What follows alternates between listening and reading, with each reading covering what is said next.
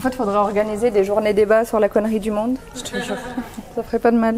Mais c'est vrai que ça rend bien. Hein. T'as vu, c'est beau, hein Alors, du coup, c'est bon, c'est bon. Ouais, c'est bon.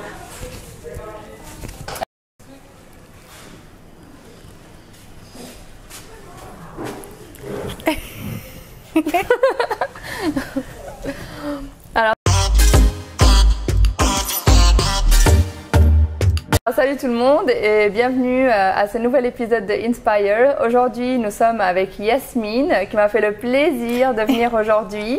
On avait l'habitude de se parler un peu plus sur les réseaux et euh, donc bah, je vais te laisser euh, te présenter. Bah, écoutez, bonjour à tous. Hi everyone, la base, en anglais d'abord. alors moi j'ai 23 ans, je les ai eu il n'y a, pas, il y a pas si longtemps que ça. D'accord. Voilà, je suis mannequin, je fais plusieurs choses, je suis mannequin, je suis également speaker, euh, principalement sur le développement personnel, relations avec euh, son corps et euh, relations sur le business. D'accord. Voilà. Qu'est-ce que tu fais aujourd'hui? Quels sont tes projets? Bah, Écoute, là, je donne des conférences, donc principalement sur New York. Je, je, comptais en donner une première en mars sur Paris. Malheureusement, il y a eu le fameux coronavirus. Donc, ce qui a, je pense que ça a retardé tout le monde en fait. Donc, malheureusement, ça n'a pas, ça n'a pas pu se faire. Mais euh, voilà, j'ai commencé à donner des conférences sur New York. J'en ai donné une à Dubaï et toutes les autres en fait sur New York. Et la prochaine sera sur Paris. Donc, euh, j'aborde plusieurs sujets, hein, que ce soit le développement personnel, la motivation et euh, encore une fois le body positive l'image et la relation que tu as avec, euh, avec ton corps. Alors, du coup, euh, comment ça se fait que tu sois mannequin aujourd'hui euh, C'est quoi ton petit parcours alors? Alors moi, il faut savoir que j'ai commencé le mannequinat en France. Voilà, au début, c'était une passion. J'étais à l'aise, j'ai toujours été à l'aise face à la caméra. Euh, ça a commencé comme ça, en France. J'ai commencé à faire les castings. Donc j'ai commencé à chercher les castings, je pense comme tout le monde, euh, sur Internet. J'ai trouvé quelques castings. Je me suis présentée en agence avec des mon castings De, photos euh, Exactement. C'était des castings d'abord pour en fait faire des, photos, des photoshoots. Et ensuite, pourquoi pas potentiellement travailler avec une marque. Ok. Voilà. Ça n'a pas du tout marché. Ouais. ça n'a pas du tout marché. Ça ne l'a pas arrêté. ça n'a pas du tout marché. Il faut savoir qu'en France, ils recherchent principalement des mannequins très très fines. À l'époque, euh, bon, il y a une grande différence euh, par rapport à maintenant. Je faisais une taille 36-38. Et malgré ça, ça ne marchait pas. J'étais toujours considérée comme trop grosse. Donc ça, c'est, euh, on en viendra après, mais c'est un très très gros problème en France, malheureusement. Donc ça n'a pas marché, j'ai continué à persister, à persister, ça n'avait pas du tout marché en France. Donc je me suis dit pourquoi pas tenter ma chance aux États-Unis? À New York, j'avais déjà un pied, un pied là-bas, j'avais, j'ai de la famille qui vit sur New York. Euh, ma sœur précisément. Donc je me suis dit, euh, pourquoi pas tenter là-bas au début, j'y allais pour les vacances. Et puis je me suis dit, euh, bon, pourquoi pas faire un casting ou deux ou trois. Ben Le premier n'avait pas marché. Et puis au fur et à mesure du temps, je voyais que mon profil commençait à intéresser certains photographes. J'avais créé un Instagram, j'avais une page Facebook. Et je me suis créé, j'avais rencontré un photographe là-bas. Et sous les conseils bah, des personnes que je rencontrais, on m'avait conseillé de faire un book en ligne. D'accord via un site internet. Donc euh, j'ai créé mon site internet euh, qui me présentait vraiment moi. J'avais quelques photos de moi, voilà, une petite, une petite biographie. Et euh, je me présentais aux agences de mannequinat en fait comme ça. Mais ouais. Et, du coup, tu avais confiance en toi. C'est ça en fait, j'avais confiance en moi. Je, croyais en moi. je croyais en moi, mais j'étais à, à, fond dedans en fait. Trop bien. Et j'ai commencé comme ça petit à petit. Mon profil a commencé à intéresser des photographes, des photographes avec euh, lesquels par la suite j'ai été amenée à, à travailler.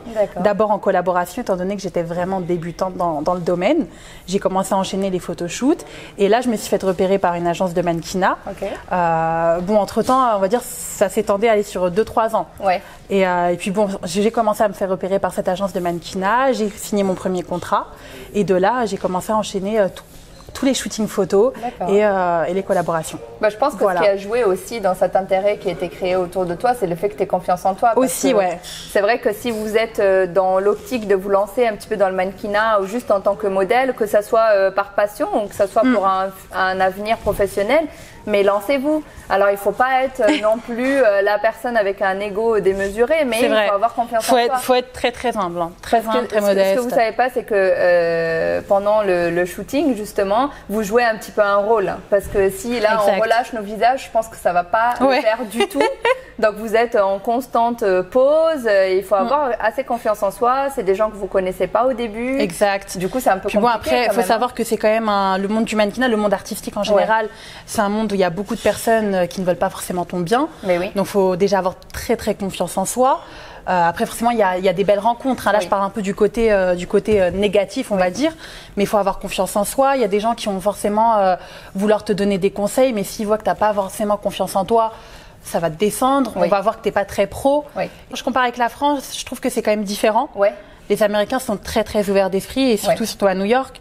Là-bas, c'est on va dire c'est le nid à opportunité quoi. D'accord. Et est-ce qu'il y a euh, quand même cette relation un petit peu perverse parce que si on a des jeunes filles qui veulent se lancer justement en tant que modèle, euh, nous on voulait prendre ce temps avec Yasmine mm. pour vous mettre en garde en fait c'est vrai. Euh, voilà, vous pouvez aller dans des groupes, demander des collaborations, mais il faut faire très très attention aux personnes, aux personnes qu'on rencontre, faire attention avec qui on parle, avec qui on échange et à qui on envoie ses photos surtout. Il y a des photographes, j'en viens là parce que je pense que c'est important d'en parler. Et j'insiste vraiment sur ça, qu'il y a énormément euh, de photographes qui demandent euh, des photos, je ne sais pas, en lingerie par exemple, voire euh, toutes nues.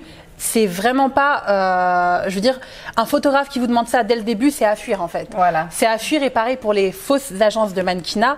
Il y en a beaucoup aussi qui demandent d'envoyer en fait un book, donc avec des photos normales, éditorial magazine, plein pied et des photos également en sous-vêtements, mais voire qui vont plus vers la nudité en fait. Ça, c'est vraiment à éviter, mais totalement. C'est, euh, on n'a pas besoin de passer par ça pour faire du mannequinat. J'en vois énormément sur les réseaux sociaux euh, qui se mettent en, sous-vêtements, voire toutes nues. On, en parlait il y a, quelques jours, hein, qui se mettent toutes nues.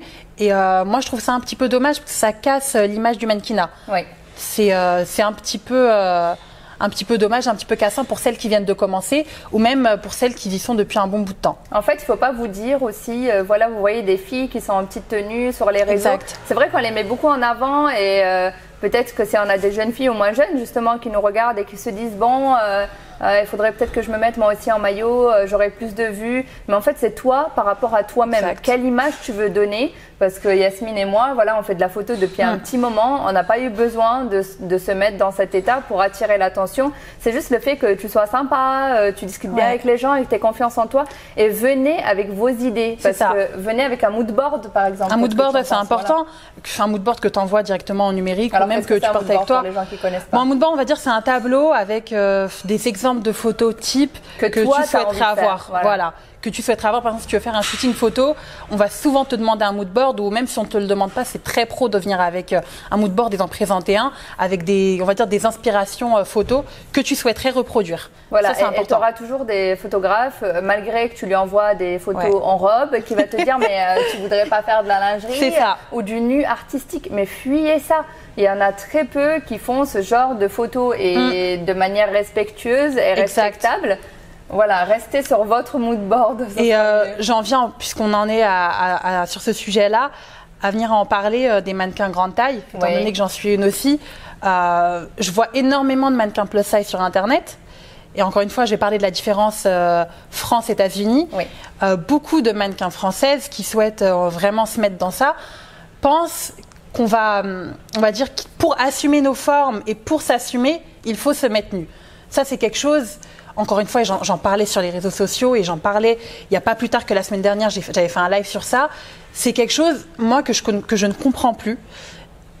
Vouloir s'assumer et euh, montrer ses formes, on peut le faire directement en étant habillé. Moi, je trouve que justement, c'est beaucoup plus intéressant d'être habillé et de s'assumer avec des vêtements qu'on ne pense pas voir sur une femme avec des formes que se mettre toute nue en fait sur les réseaux sociaux.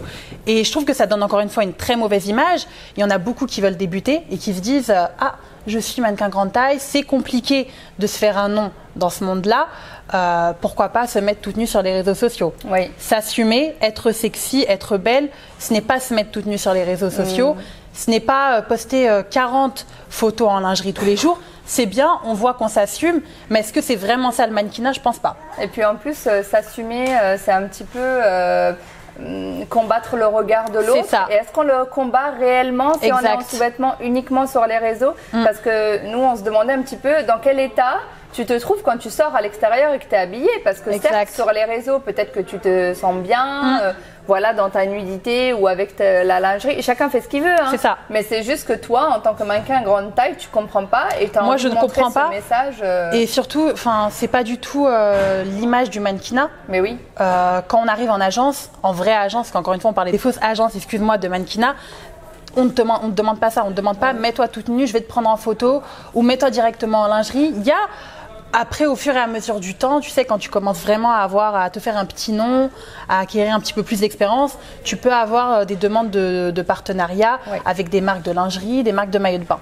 Mais commencer directement à se mettre toute nue sur les réseaux sociaux et à prôner euh, le body positive, non, ça c'est pas du body positive. Ça c'est se mettre toute nue et penser qu'on défend, un, qu'on défend un mouvement en fait juste parce qu'on est nu et on s'assume. S'assumer, c'est mettre euh, un jean taille haute, un crop top peut-être, c'est pas quelque chose qu'on voit euh, souvent et qu'on voit déjà dehors dans la rue. Tu vas pas sortir et voir euh, une femme qui fait du 46. Généralement, elle s'assume pas en crop top. Donc ça, peut-être, ce serait s'assumer, porter ce type de vêtements. Mais euh, se mettre toute nue, je veux dire, tu te mets pas toute nue dans la rue. Mais oui. Donc comment est-ce que tu veux t'assumer? En fait, tu t'assumes que sur les réseaux. Mm, mm, mm. Parce que quand tu sors dans la rue, tu vas pas marcher dans la rue toute nue. Et puis par rapport aux agences, quand tu passes par là, généralement, ils te font des photos des headshots. Exact. Voilà, mais la première photo, généralement, tu es en débardeur euh, blanc. Débardeur blanc ou noir. Euh, avec un jean. jean. Ça veut dire qu'ils veulent voir les formes, mais sans que tu sois euh, en sous-vêtements. Parce que justement, déjà, tu es en débardeur et en short, c'est bon, on en voit déjà assez. C'est ça. Je sais pas si tu es d'accord. Ouais, non, mais c'est ça. Mais quand tu passes dans tous les castings, que ce soit des castings pour des mannequins très très minces ou des castings pour des mannequins avec des formes, la tenue type, c'est talons escarpins noirs, un jean soit brut bleu, noir, un débardeur blanc ou un short.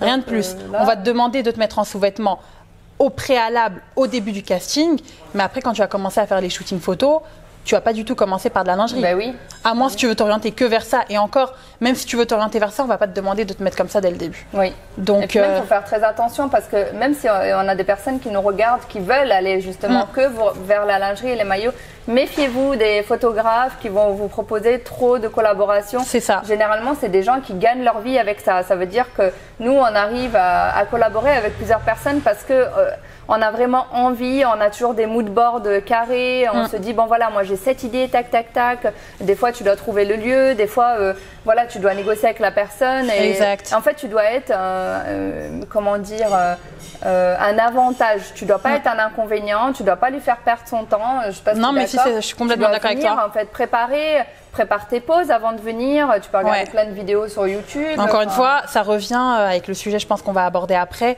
la confiance en soi et la volonté de réussir. Tu peux pas te dire je veux être mannequin si toi-même tu n'es pas prête ni mentalement ni physiquement quand tu vas commencer en fait le shooting photo. Tu peux pas arriver à un shooting photo euh, sans être préparé, sans avoir tes tenues de prête. Tu vas te faire perdre du temps à toi-même et tu vas faire perdre du temps au photographe et à l'équipe qui sera là. Donc tu peux pas dire, voilà, je veux être, être mannequin, c'est pas. Voilà, encore une fois, j'insiste vraiment sur les mannequins plus size. Être mannequin, c'est pas juste je me mets toute nue, j'insiste, euh, j'achète, je sais pas moi, j'achète quelques deux trois petites lingeries, je paye un photographe ou pas en collaboration et le shooting voilà se passe. Non, c'est une grosse préparation derrière. Il y a une grosse équipe ou pas quand tu débutes, d'où la collaboration. Mais euh, venez préparer. Généralement, quand tu fais un shooting photo, déjà t'arrives, t'es agent voilà, tu vas pas te taper un McDo juste avant et ensuite enchaîner avec un photoshoot. Non, il faut venir préparer. Et encore une fois, venir préparer, avoir confiance en soi et, euh, et enjoy le moment en fait. Mais ça, je pense que c'est bien que tu introduises ce, mm. point-là parce que les gens, ils ont généralement euh, cette image de mannequin qui tape la pause parce que maintenant, on, montre beaucoup de vidéos de filles bah, qui sont en train de siroter le petit Starbucks mm. et tout. Ce que vous ne savez pas, c'est que derrière la caméra, quand tu es en shoot, tu n'as pas de stop. Tu finis euh, le shooting, tu es lessivé. Tu commences à 7h du euh, matin, à 8h tu es prête, voire à 7h45 et t'enchaînes jusqu'au soir. Voilà, et tu n'arrêtes pas. C'est ça. C'est le côté qu'il faut réaliser parce que moi j'avais des copines qui voulaient se lancer dans ça. Mm. Elles me disaient ah mais en fait c'est fatigant, oui, c'est pas, il n'y a pas de pause. C'est un travail en fait. Si mm. tu veux te lancer dans ça, travaille tes abdos, travaille ton corps parce que vraiment la fatigue après les shoots. Euh, c'est ça. Et euh, tu vois, tu parles de corps et euh, de travail, de sport. C'est important aussi de, de, garder en tête qu'une mannequin grande taille travaille aussi. Elle ne se tape pas des burgers à longueur de journée, pas de sport, Netflix and chill seulement. c'est pas ça. Une mannequin grande taille travaille tout aussi tout aussi dur qu'une mannequin euh, filiforme. Et toi, on le voit dans tous les cas sur les réseaux. On le voit sur les séances. Ouais, je partage mes séances tout le temps. J'ai commencé à les partager au début, je le faisais pas, mais là, j'ai repris le sport il y a un bon bout de temps et euh, j'essaie de partager, de motiver les personnes parce qu'on me le dit souvent. Ah, t'es mannequin grande taille. J'ai reçu cette remarque plusieurs fois. Ah, Yasmine, t'es mannequin grande taille, ça va, pas besoin de faire du sport. Arrêtez. Tu peux manger ce que tu veux. Des fois, j'ai allé au restaurant et ah, tu peux manger ce que tu veux, c'est bon. Non, on peut pas manger ce que tu mais Non. Tu peux pas. Tu fais du sport, il faut être un minimum tonique et encore une fois, je trouve que c'est erroné parce qu'il y a énormément de filles sur Internet, euh, justement, qui prônent le body positive.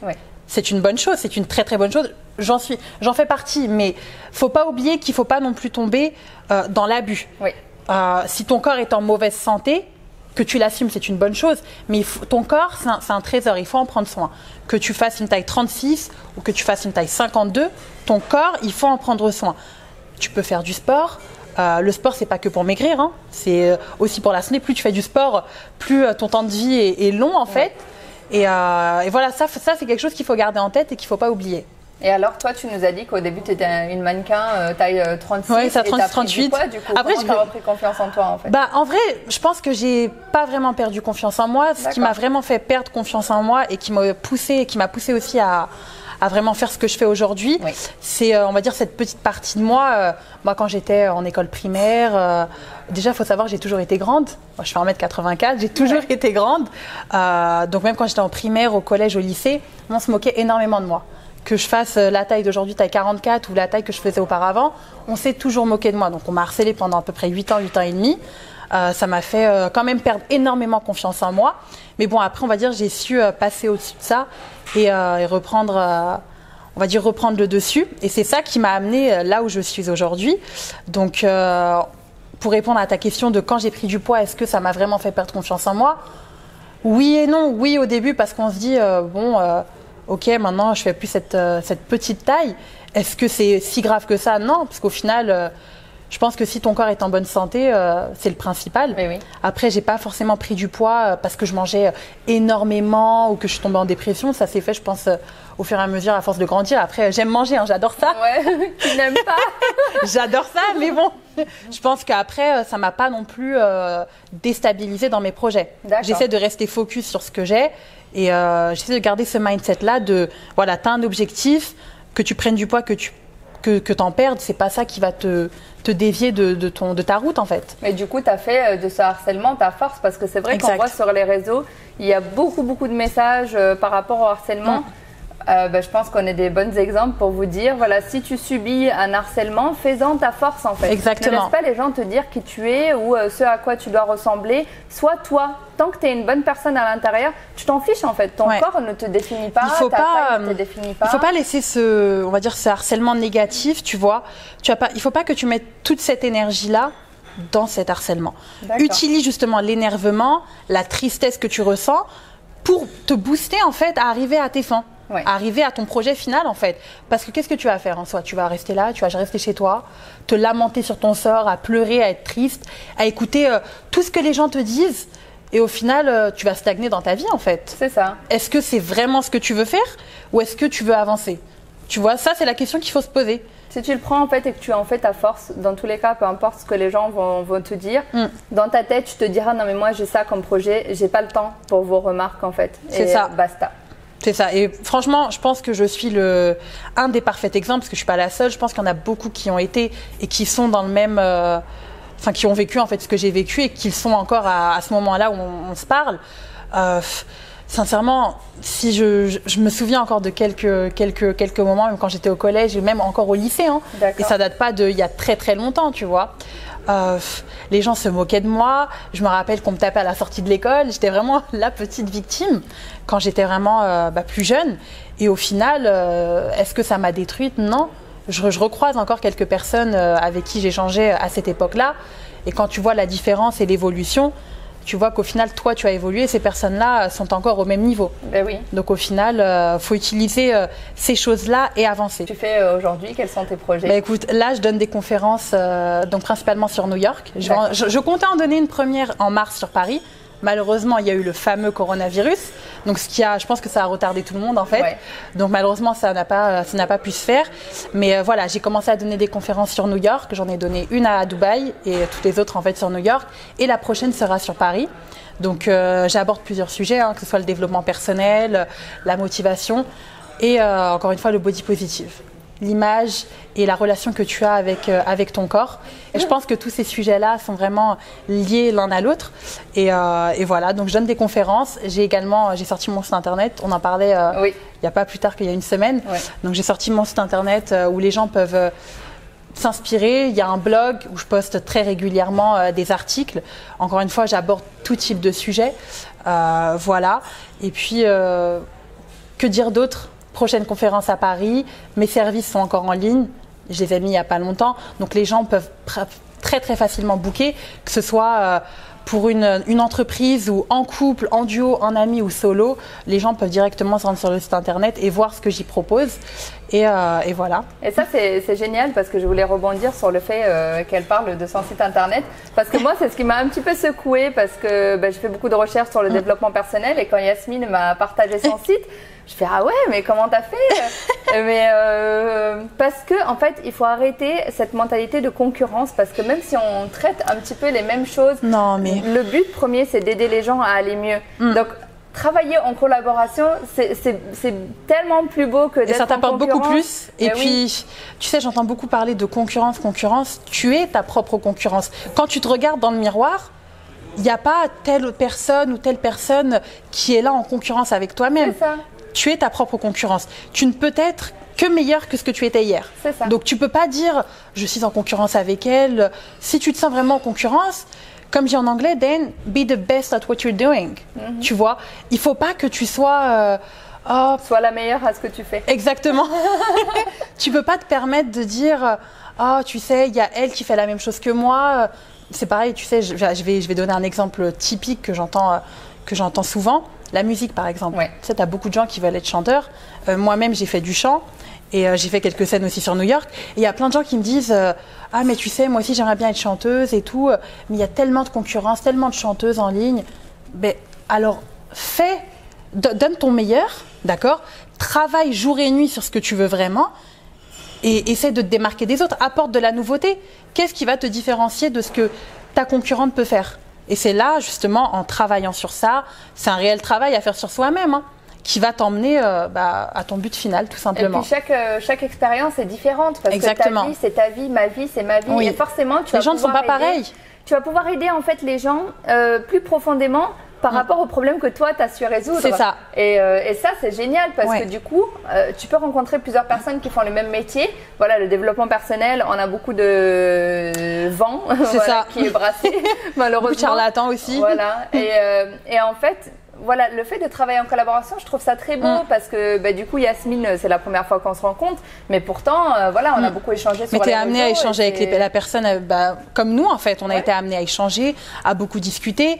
Et tu sais, il y a des gens, encore une fois, comme la collaboration ou les photoshoots, on, en avait parlé la dernière fois, euh, il y a beaucoup de photographes, par exemple, qui demandent j'ai besoin d'être payé. Ouais.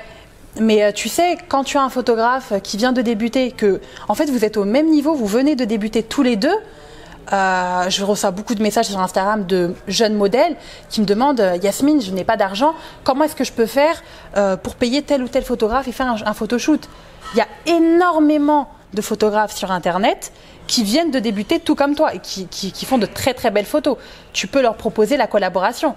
Ils acceptent, tant mieux. Ils acceptent pas, bah écoute, il y en a plein d'autres à qui tu pourras proposer la même chose. Donc travailler en collaboration, moi j'encourage ça dans n'importe quel domaine.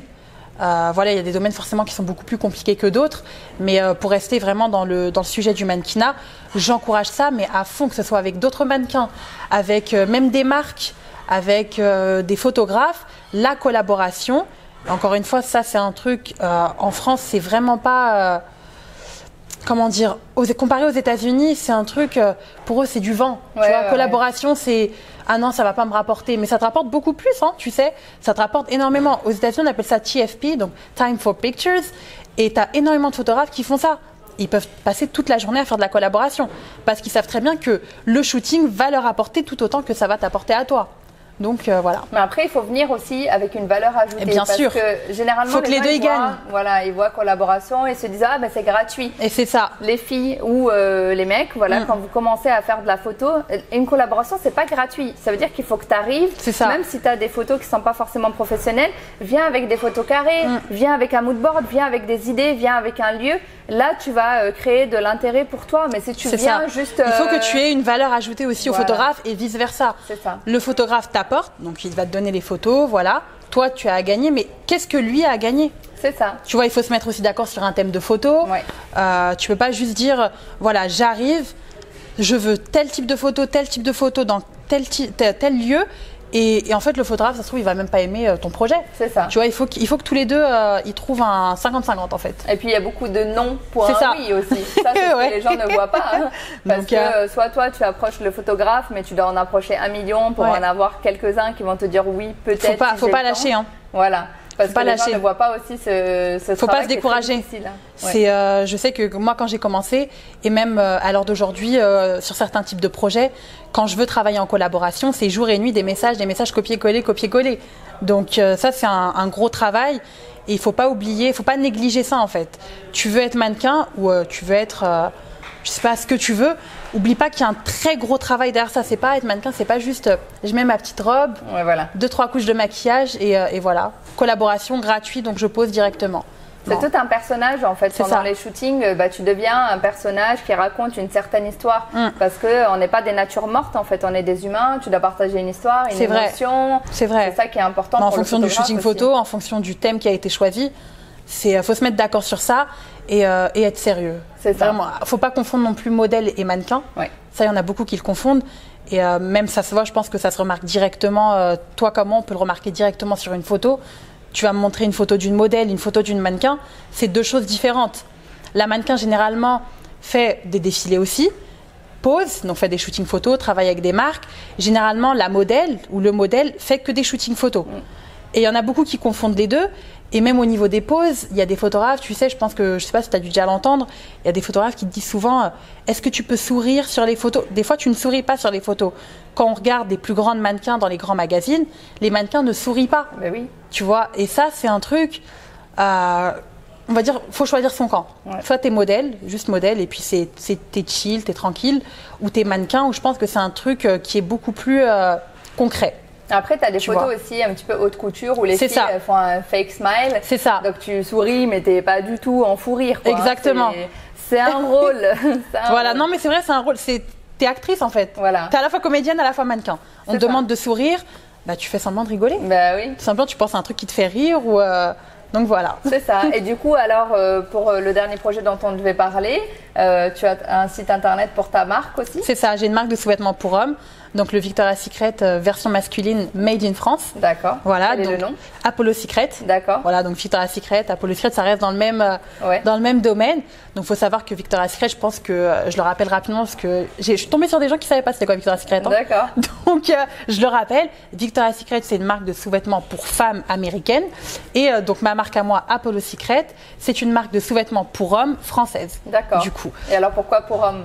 Pourquoi pour hommes On me le demande souvent et surtout pourquoi toi, une femme, tu vas faire une marque de sous-vêtements pour hommes euh, Parce que je pense tout simplement qu'on n'a pas euh, donné, on va dire, ce crédit-là. Il n'y a pas, tu sais, quand tu regardes la télévision, les magazines, il y a beaucoup de choses. On voit beaucoup de marques pour les femmes, des, des vêtements pour femmes publicité, tu regardes que des trucs, il y a que des trucs pour femmes.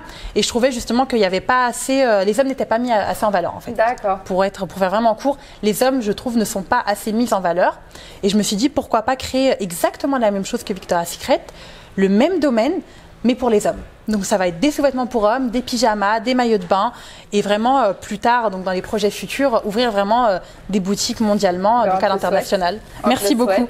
Et du coup, euh, comme mot de la fin, qu'est-ce que tu pourrais dire aux personnes qui n'ont pas euh, trop confiance en elles, par exemple, Moi, je pense, des personnes euh, bah, qu'on appelle plus d'eyes, comment faire pour un petit peu s'assumer sans devoir se mettre toute nue? Quel serait ton conseil à toi? Moi, tu sais, je me pose toujours la question et je le fais toujours encore maintenant, c'est how bad do you want it? Et j'ai mis un post il y a pas longtemps sur ça. Ça veut dire à quel point tu le veux vraiment? Voilà, il faut croire en soi, ne jamais douter de soi-même et, tout simplement foncer. Il ne faut pas attendre d'avoir 15 000 euros de côté ou 20 000 euros de côté pour créer sa marque de sous-vêtements ou une marque tout simplement. Parce que quand j'ai commencé, j'avais 200 euros. Je l'ai commencé, j'avais 18 ans et demi. J'en ai 23 aujourd'hui. Euh, faut pas attendre, arrêter de se trouver des excuses, tout simplement. C'est tu le veux, fonce. Que tu aies de l'argent ou pas. De toute manière, tu seras jamais prête. Hein. Donc, tu seras jamais prête, rien ne sera jamais parfait. Donc, euh, foncez euh, sans garder ni à gauche ni à droite. Lancez-vous, hein, mais en ayant quand même. Voilà, faites attention à vous, surtout dans le domaine voilà, des, modèles et mannequins. faut rester sur ses gardes aussi. voilà. C'est vrai. faut rester sur ses gardes, avoir confiance en soi et on va dire choisir ça, choisir, choisir les, bons membres de, son équipe. C'est ça. Voilà. Et puis vous ferez euh, dans tous les cas de très belles rencontres, euh, comme nous on a pu en faire. Voilà, ça. Euh, ça. commence avec une collaboration et ça crée des amitiés et des projets géniaux.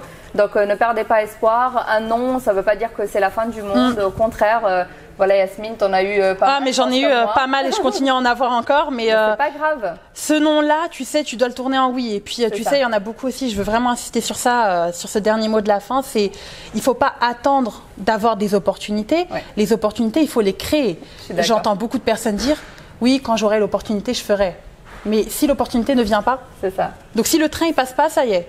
Si le train ne passe pas, je vais construire un train et aller moi-même en bah fait. Bah Donc voilà, ne pas attendre et ne pas perdre de temps surtout on sera, tu sais, faut pas attendre d'être milliardaire pour commencer un business. C'est un truc qu'il faut vraiment garder en tête et euh, tout simplement croire en soi. Et euh, qu'il y ait 3 refus, 4 refus ou 10 000 refus, il faut continuer à persister. Et surtout, surtout, créer son opportunité. N'attendez pas d'avoir euh, oh, j'attends cette opportunité, j'attends d'avoir ci, ça. Non, l'opportunité, vous la créez, euh, les contacts, vous voulez créer vous-même. Et, euh, voilà, tout simplement croire en soi et, euh, foncer. Eh ben, c'est super, merci d'avoir été avec nous. C'était un super rendez-vous et un beau partage. Je confirme. Bon, ben, on vous retrouve au prochain épisode. C'est ça. Ciao